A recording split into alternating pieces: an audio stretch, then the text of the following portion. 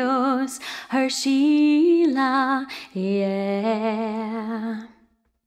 One happy birthday dot com.